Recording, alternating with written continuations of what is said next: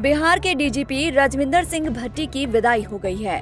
केंद्र सरकार ने आज उन्हें सीआईएसएफ का डीजी बनाने का आदेश जारी कर दिया है।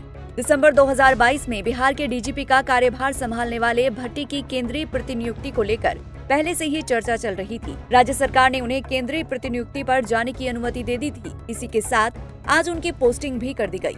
बिहार में लगातार कानून व्यवस्था को लेकर विपक्ष की तरफ़ से सवाल खड़ा किया जा रहा है। आर एस भट्टी के सीआईएसएफ के डीजी के रूप में नियुक्ति की अधिसूचना जारी की गई है। वहीं इस पर अब आरजेडी ने नीतीश सरकार पर हमला बोला है। आरजेडी प्रवक्ता शक्ति सिंह यादव ने राज्य सरकार पर निशाना साधते हुए कहा है कि बिहार के डीजीपी आर एस भट्टी को सीआईएसएफ के डीजी पद पर तैनात कर दिया गया है। उन्होंने दावा किया कि भट्टी साहब बिहार के जेडीयू नेताओं से परेशान थे और राज्य में उनकी कोई सुनवाई नहीं होती थी। बिहार के डीजीपी आर एस भट्टी साहब अब सीआईएसएफ में डीजी पद को संभाल लेंगे वह भी परेशान हो चुके थे बिहार में। डीजी के पद संभाल रहे थे कि उनकी कोई सुनता नहीं था क्योंकि रिटायर अधिकारी और नीतीश जी के चमचे और बेलचे पुलिस में पदाधिकारियों का पदस्थापन करवाते थे स्थानांतरण करवाते थे। आदरणीय तेजस्वी जी ने साफ़ साफ़ कहा, अरे तो प्रमाणित हो गया। कि आर एस भट्टी जैसे ईमानदार और कर्मठ अधिकारी डीजीपी एक महत्वपूर्ण पद होता है राज्य का। उसको छोड़ करके सीआईएसएफ के डीजी के पद को संभालेंगे।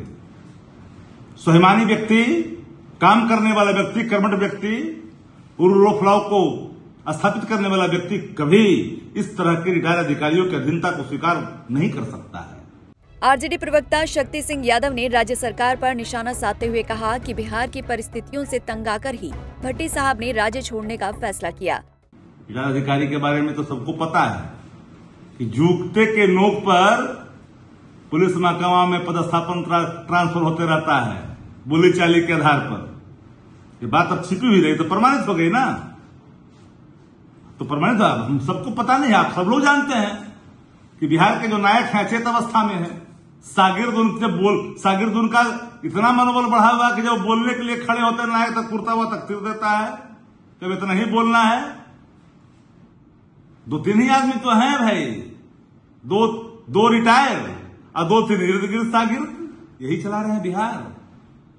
भारतीय जनता पार्टी पूरे पाप में है सागीदार इसीलिए हो रहा है बिहार बर्बाद।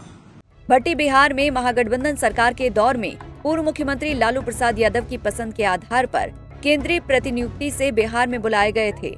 लेकिन इस महीने उन्होंने केंद्रीय प्रतिनियुक्ति पर वापस जाने की गुजारिश की थी और राज्य की नीतीश कुमार सरकार ने इसकी अनुमति दे दी थी। 1990 बैच के आईपीएस रहे भट्टी को करीब दो साल पहले ही दिसंबर में बिहार के डीजीपी की ज़िम्मेदारी मिली थी। ये यूपी कैडर 1990 के आईपीएस अधिकारी हैं। पंजाब केसरी टीवी के लिए पटना से संजीव कुमार की रिपोर्ट। हमसे जुड़े रहने के लिए हमारे YouTube चैनल को सब्सक्राइब करें और नई वीडियो की नोटिफिकेशन के लिए बेल आइकॉन को दबाएँ। अगर आप ये वीडियो Facebook पर देख रहे हैं तो लाइक ज़रूर करें और ज़्यादा से ज़्यादा शेयर करें धन्यवाद